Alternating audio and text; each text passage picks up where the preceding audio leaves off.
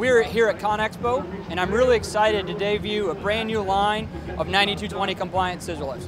The first one is our new ES1330L. It's a 9220 compliant, under 2,000 pound, lightweight line that we're launching, which also has a 15 footer. We're also showing our new ES1932. It's a new 9220 compliant machine. It can operate at 19 feet both indoors and outdoors with full capacity of 500 pounds. But what we're really excited about is the new AE1932. It's an all-electric machine, which we think is going to change the industry. This machine has no fluids and no potential for leaks.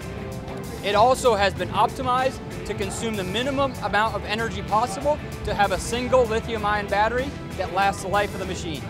This machine is virtually maintenance-free and we are excited that with this machine, we're bringing technology to elevate access.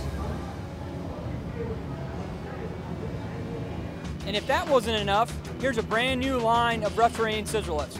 26, 33, 40, and 47 foot height classes, available both in electric and rough terrain with diesel or dual fuel engines.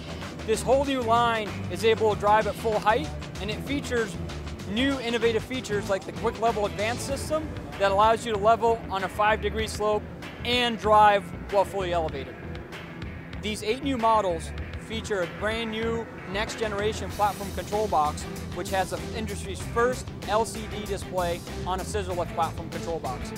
It also has technologies like LiftSense that looks at the tilt and weight and varies the maximum height according to those different parameters. This technology will make operators more productive, giving them a bigger working envelope to get their job done. And here's just another way that we're elevating access at JLG.